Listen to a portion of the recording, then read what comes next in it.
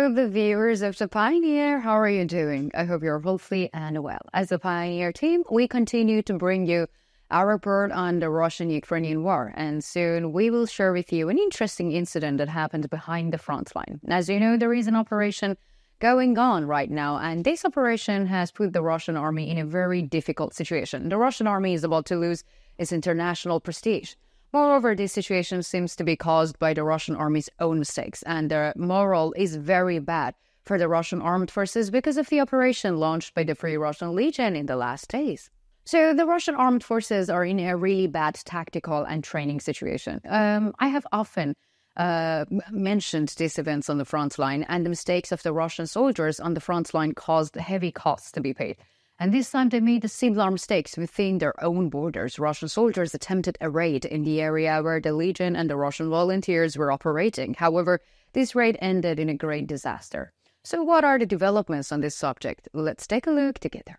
Before starting our report, I need to make a small reminder. As the Pioneer team, we continue to bring you the developments regarding the Russia Ukraine war. And don't forget to subscribe to our channel and turn on notifications so that you don't miss our daily map reports and reports on the agenda. I also read all of your comments on our videos, so please continue to express your opinions about our content in the comments with us. Let's start if you are ready and the Pioneer reports. Russia is going through one of the most difficult periods in its history, and on the uh, one hand, they attempted invasion of Ukraine, which was initially characterized as a special military operation, but later lost its characterization and officially turned into an active war. On the other hand, the economic crisis in Russia, and on the other hand, the complex situation on the Russian territory in recent days clearly reveals the difficult situation in Russia. And Vladimir Putin, the president of the Russian Federation, can do nothing to prevent this situation because he is responsible for this situation. The Russian people are also very complaining about this situation and they're have been elections in Russia recently, and Putin won the elections, but we've already told you how he won. At some points, Russian soldiers entered the voting booths and uh, the Russian citizens and forced them to vote for Putin and force and fraud them. So Putin may have been elected president, but Russia's problems don't end. And because the Ukrainian army is determinedly fighting to end the occupation of the Russian armed forces on Ukrainian territory, it is still going on. So, as it is well known, the ongoing operation in Belgorod is part of this plan, and officially the Free Russian Legion and the Russian Volunteer Corps are not part of the Ukrainian armed forces, but both groups have supported the operations of the Ukrainian armed forces within the borders of the Russian Federation with the aim of ending the occupation of Ukraine. So recently, a report emerged that some personnel of the Russian Volunteer Corps were trapped in a building in the Belgorod Oblast. And according to the allegations, during the ongoing operation in the Belgorod Oblast, the personnel of the Russian Volunteer Corps were unable to resist after fierce clashes with the Russian troops, withdrew and took refuge in the building. However, this was a trap. Moreover, even if the Russian Volunteer Corps had not set this trap, the Russian troops had little chance of harming them because the Russian soldiers sent to destroy the Russian volunteer corps were all very inexperienced.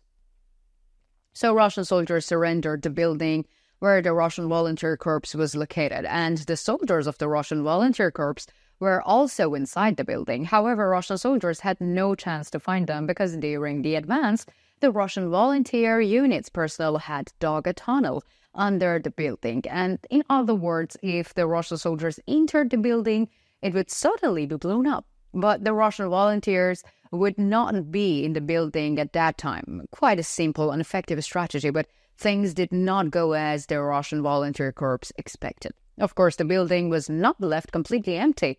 Another group of another group of the Russian volunteer corps personnel were present in the building and clashed with the units of the Russian armed forces, and these moments were recorded by the drones.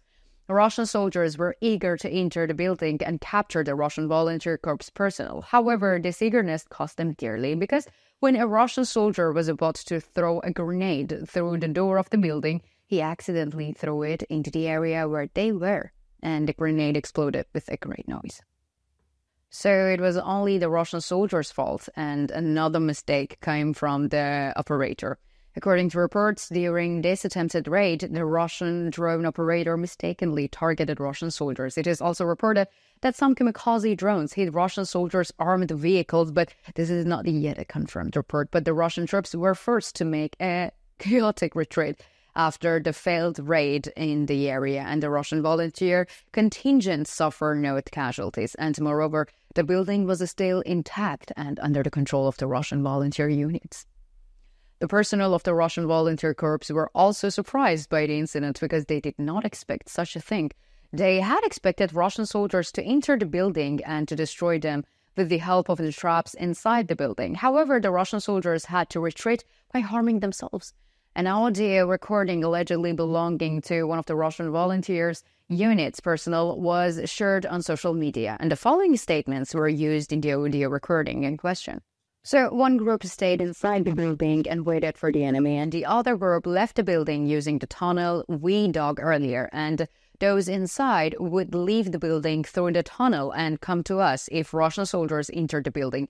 There was a lot of ambushes in the building. Probably none of the Russian soldiers who entered would have come out, but our friends should have been in the building to persuade them to enter the building. So while we were waiting for them to enter, suddenly their numbers started to, cre- to decrease and they started to self destruct.